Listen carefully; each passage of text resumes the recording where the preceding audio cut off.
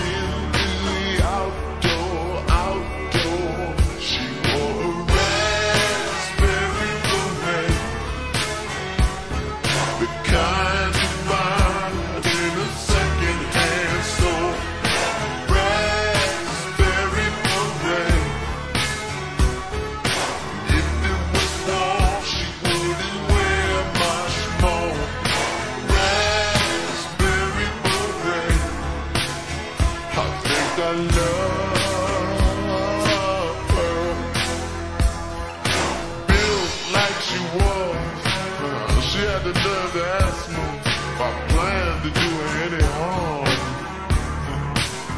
so look here, I put her on the back of my bike and uh, we went riding down by old man Johnson's farm.